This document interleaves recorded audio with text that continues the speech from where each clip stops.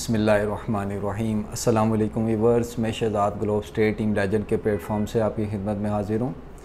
Dare viewers आज का हमारा टॉपिक नोमिनी के बारे में है कि नोमिनी का प्रॉपर्टी में क्या रोल है।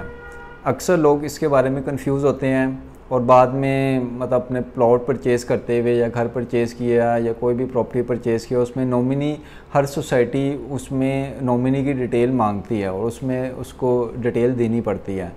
तो नॉमिनी में अक्सर लोग कंफ्यूज हो जाते हैं कि नॉमिनी का प्रॉपर्टी में क्या रोल है, कि अगर खुदा न खास्ता जो प्लॉट ओनर है, उनको कुछ होता है तो क्या नॉमिनी ओनर बन जाएगा? तो ऐसी बात बिल्कुल भी नहीं है। नॉमिनी का प्रॉपर्टी में कोई भी रोल नहीं है। ज़ीरो परसेंट रोल है नॉमिनी का। नॉमिनी जस्ट फॉर रिकॉर्ड होता है कि आपकी एब्सेंस में या आपसे रबता नहीं हो पा रहा तो हम इस नॉमिनी को जो है इनसे कांटेक्ट करके जो है, या इनसे रबता करके जो भी प्रॉपर्टी के इश्यूज़ हैं, वो डिस्कस कर लिए जाएँ। बाकी नॉमिनी का प्रॉपर्टी में किसी भी किस्म का कोई रोल नहीं है।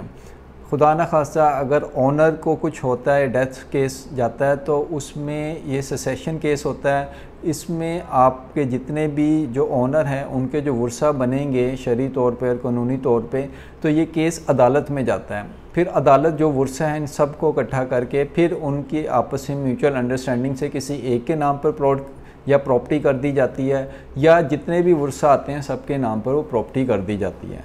तो अक्सर लोग वरी होते हैं कि यार के नॉमिनी का हमने डाटा चेंज करवाना है, नॉमिनी के नाम की जगह दूसरा नाम हमने ऐड करवाना है।